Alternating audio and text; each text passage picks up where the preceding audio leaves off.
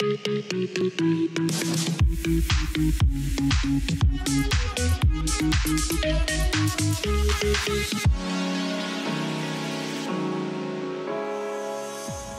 بینندگان عزیز شبکه محبت. و اما ما با یه برنامه دیگه من و یلنا همراه شما عزیزان هستیم و در این قسمت می‌خوایم در رابطه با رابطه مادر و فرزند با هم صحبت کنیم. یه تعریفی که در واقع برای رابطه ارائه داده شده اینه که آنچه دو تن یا دو چیز را پیوستگی و ارتباط می‌دهد یلنا جان و میگه بین دو تن و دو چیز علاقه به وجود میاره.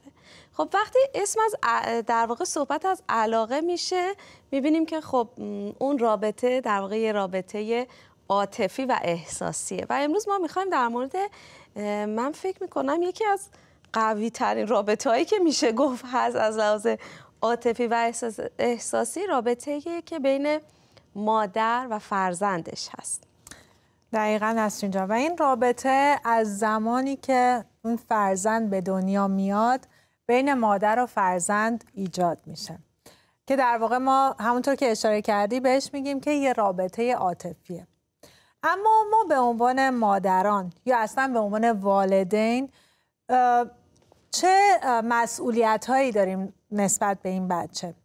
ما و چطور باید نیازهای یه بچه رو برطرف کنیم؟ اولین حالا بذاریم به غیر از اون نیازهای که برای خورد و خوراک. و اینا باید برآورده بشه سه تا نیاز اصلی هست که باید حتما یعنی ما اگه بخوایم فرزند سالمی رو پرورش بدیم این بچه از لحاظ روحی از لحاظ روانی از لحاظ جسمانی سالم باشه بعد به سه تا نیاز بچه توجه خاص بشه. و اینکه اگه بخوایم در واقع رابطه این رابطه هم مستحکم تر بشه و رابطه ای باشه که پایدار باشه. من فکر می‌کنم خیلی جالبه این نکتهایی که تو می‌خوای بگی یلنا این سه تا نیاز اولین نیازش امنیته.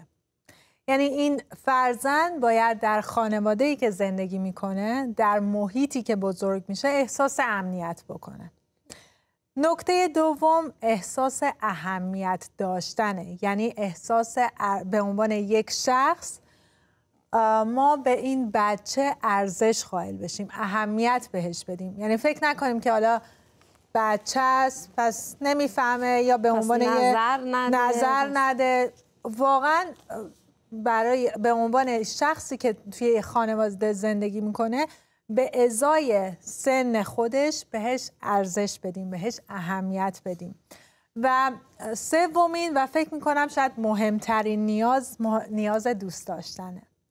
یعنی این فرزند زمانی به نظر حالا ممکنه یک زمانی امنیت رو برقرار نکنیم. یه زمانی ارزش رو ممکنه یادمون بره. اما دوست داشتن مهمترین نیازیه که فرزند احتیاج داره. و اینکه در واقع توی این دوست داشتن در واقع به بچه هامون این اطمینان رو بدیم که دوست داشتن ما شرطی نیست.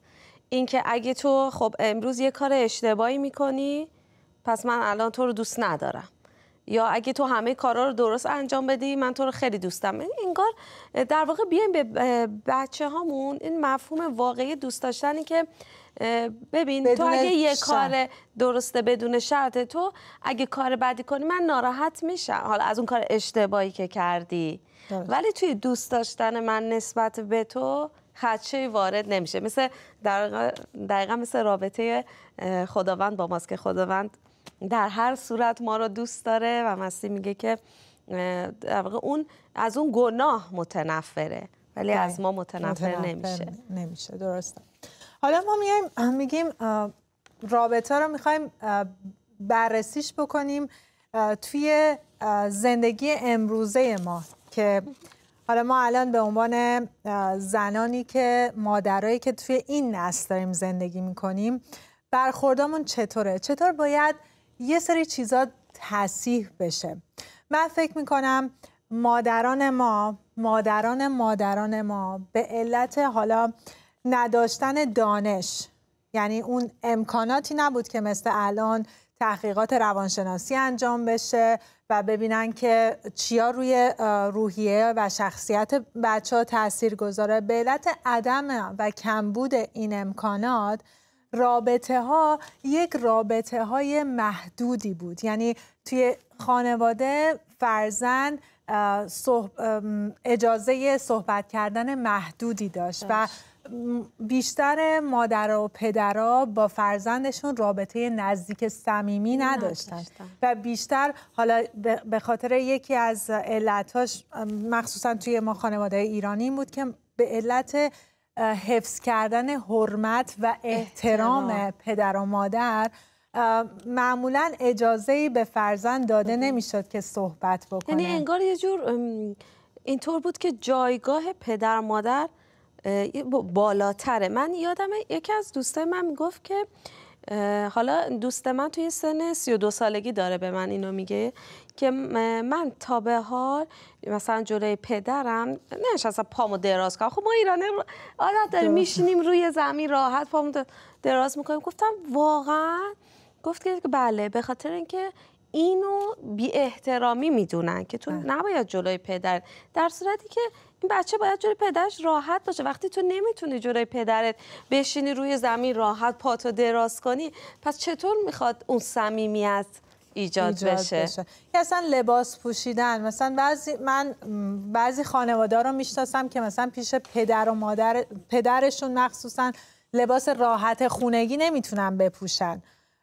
اینا هم تمام محدودیت هاییه که باعث ایجاد یک تضادهای توی خانواده میشه. ایجاد یک فاصله بین پدر و مادر من نمیگم حرمت پدر و مادر ما نباید حفظ کنیم. پدر و مادر واقعا همونطور که کتاب مقدس هم به ما اشاره می‌کنه ما همیشه باید احترام پدر و مادرمون رو داشته باشیم. اما نذاریم این احترام تبدیل به ترس بشه. مهمه که تشخیص داده بشه که آیا واقعا اون احترامه؟ یا می‌خواد یه ترس حکم فرما بشه که تو به عنوان بچه پایین تر هستی؟ چون من فکر می‌کنم یعنی در واقع اینطوره که تو می‌تونی با پدر مادرت خیلی صمیمی باشی در این حال اون احترام رو حفظ کنی. درستم. من یادم نسرین جان یکی از عزیزانی به من می‌گفتن که یک روزی که خودش با بچه خودش داشت حالا سر کله می‌زد یه دادی زده بود سر بچه خودش. به فرزندش گفت که عزیزم من ازت معذرت می‌خوام که مادر عصبانی شد و روی سر تو داد زد. بعد در این حین پدرش این خانه این حالا مادری که داشت معذرت خواهی رو می‌کرد در واقع پدر بزرگی صحنه رو داره می‌بینه. پدر بزرگی گفت که مگه از بچم معذرت خواهی میشه کرد؟ بعد من این صحبت ها رو که میگم یادآور این شدم که پس ما احساس می‌کنیم که به فرزندامون بعد به اونو به در واقع اینو بقبولونیم که ما خداییم. وقتی فرزند من منو به عنوان شخصی ببینه که اشتباهی نمی‌کنه معذرتی نمی‌خواد منو به عنوان شخصی می‌بینه که هیچ اشتباهی در زندگی خودش نداره. ممکنه این کودک تا سن جایی که حالا من اصطلاح آره دستش تو دهن خودش نمی‌رسه به ما وابسته باشه کنار ما باشه. اما مطمئنم وقتی فرزند به زمانی برسه که خودش بفهمه تشخیص بده که پدر و مادر منم اشتباه کردم. پدر و مادر منم درست نبودن. اون موقع یک ضربه ای وارد میشه. در واقع یه شوکی به فرزند میاد که فاصله ایجاد می‌کنه از. یعنی میگه که من تمام زندگی فکر کردم که پدرم یا مادرم درستن دارن کارهای صحیح انجام میدن. اما واقعا صحیح نبودن و چقدر این معذرت های کوچیک و اعتراف کردن به اینکه مام انسان هستیم. همونطور که کتاب مقدس میگه ما همه ما گناهکاریم. پس همه ما خطا داریم. اگه من امروز به فرزندم نتونم اینو بگم که من خودم اشتباهی دارم توی کارهای خودم خب فرزند من به من نزدیک نمیشه. پیش من نمیاد اگه فردا سنش از سنی ازش بگذره. و اینکه یه وقتی در واقع ما میایم سعی می‌کنیم که اینو درک کنیم که توی به عنوان اعضای خانواده هممون از یه حقوق مساوی برخوردار هستیم. یعنی همونطور که اگه من به عنوان پدر مادر انتظار دارم که بچه من به من احترام بذاره متقابلا منم باید به اون احترام بذارم. به خاطر اینکه گاهی ما فراموش می‌کنیم موجودی که روبروی ما ایستاده یک انسانه. با شخصیت مستقل با در واقع خصوصیات اخلاقی مستقل. فقط الان موقتا فرقش با ما اینه که سایزش کوچیکتره بچه است. ولی خب ما هم باید بهش احترام و اصلا اگه طالب احترام هستیم بیایم به بچه همون احترام بذاریم یه الگو بهشون بدیم تا اونا هم یاد بگیرم من یه مثال حالا از اینکه واقعا با عمل کردن ما الگو میدیم به بچه همون خب من خیلی دوست دارم که در واقع من فکر کنم همه پدر مادر اینو دوست دارن که بچه هاشون بچه‌ای باشن که با کتاب رابطه خوبی داشته باشن دوست یعنی یه کتاب به عنوان دوست خودشون بدونن. خیلی سعی می‌کردم یه کتابای مختلف برای رایان گرفتم. بیا رایان با هم برات کتاب بخونم و اینا. ولی یه جفتم که خب بذار کتاب خوندن تو رو ببینه. بعد من و رامین یه وقتایی رو حالا اصولا شب دیگه دیگه وقتی خب پدر خانواده خونه هست میگیم که حالا هر شب این اتفاق نمیفته ولی یه تایمیه که هممون یکی یه کتاب دستمون می‌گیریم و اصلا رایان دیگه عادت کرده. میدوه حالا ما کتاب مقدس می‌خونیم من و رامین و دیگه کتاب مقدس های ما رو می‌شناسه. میدوه کتاب مثلا کتاب منو برم داره میگه مامان کتاب میده دست من. درستم نمی‌تونه صحبت کنه. بابا کتاب کتاب پدرش هم میده دستش و خودش هم یه کتاب برمیداره. حالا اینم برخوش یه صدایی در میاره یعنی منم دارم کتاب می‌خونم. پس خیلی مهمه این که احترام بذاریم تا بچه هم به ما احترام بذارن. و همچنین نسرین جان یه اشاره البته تقریبا داریم به انتهای برنامه می‌رسیم. می‌خوام یه اشاره کوچیکی بکنم به اینکه چطوری ما واکنش نشون بدیم به فرزندمون. که فرزندمون از واکنش های ما بتونه بفهمه که ما آیا پذیرای خودش هستیم یا اینکه ما فقط به عنوان یک داور به عنوان یک فقط می‌خوایم قضاوتش کنیم فقط بگیم این درسته این اشتباهه. درسته. پس عزیزان ما برنامهمون رو کوتاه نمی کنیم یعنی ما ادامه این برنامه رو می‌خوایم در جلسات بعد در جلسه بعد با شما دوباره سهیم باشیم. ما می‌خوایم با شما از تجربیاتمون در جلسات بعد صحبت کنیم و بگیم که چطور واکنش های ما برخورد های ما می‌تونه تاثیر بسیار بزرگی روی فرزندانمون بذاره. نسرین جان حالا یه می‌خوام یه یادآوری کوچیکم از کاری که اشتباهی که من کردم بکنم و این بود که من نسبت به فرزند بزرگ خودم سرش خیلی داد می‌زدم. یعنی هی می آوردم اشتباهش رو خیلی بزرگ, بزرگ. نشون می‌دادم.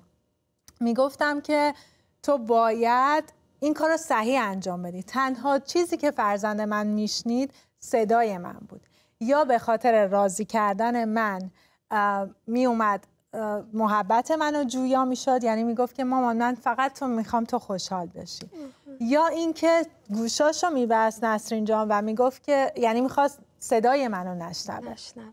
درسته. پس عزیزان همراهان همیشگی شبکه محبت با ما همراه باشید تا در قسمت بعدی برنامه من یک زن هستم. ادامه این بحث رو با هم داشته باشیم. اما دعای من و یلنا برای شما عزیزان به خصوص برای شما مادران اینه که در حضور خداوند در آرامش خداوند بمونید و بتونید تسلی و آرامش رو دریافت کنید تا بتونیم واقعا مثل خداوند با فیض با فرزندانتون رفتار کنید تا برنامه بعد خدا نگهدار.